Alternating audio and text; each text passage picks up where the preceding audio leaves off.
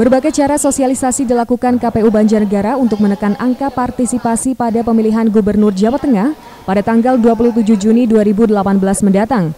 Sedikitnya 500 kaum muda pecinta modifikasi sepeda motor berkumpul mengikuti kontes modifikasi motor sekaligus ikut mensosialisasikan pemilihan Gubernur Jawa Tengah. Uswatun Hasanah Komisioner KPU Banjarnegara mengatakan, sosialisasi ini bertujuan untuk mengajak kaum muda bukan hanya mencintai dan memodifikasi sepeda motor mereka, namun juga ikut berpartisipasi mensukseskan pemilihan gubernur dan wakil gubernur Jawa Tengah. Menurutnya sosialisasi tersebut penting untuk meningkatkan pengetahuan proses tahapan pilkada. Selain itu pihaknya berharap dalam kontes pilkada, anak muda harus berpikir cerdas.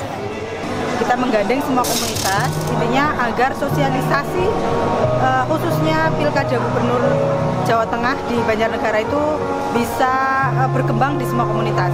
Informasinya dan substansi apa itu pemilihan yang akan kita lakukan dan bagaimana uh, kemudian tanggal berapa uh, pemilihan gubernur tersebut akan kita laksanakan.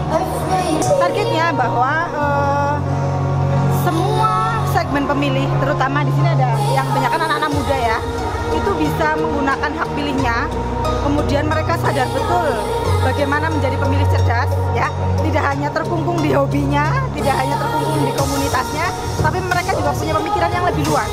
Bagaimana demokrasi khususnya di Banjarnegara itu bisa menentukan juga nasib mereka. Jadi kita merangkul dan membuka kesadaran mereka bersama untuk uh, sadar dengan pentingnya pemilihan.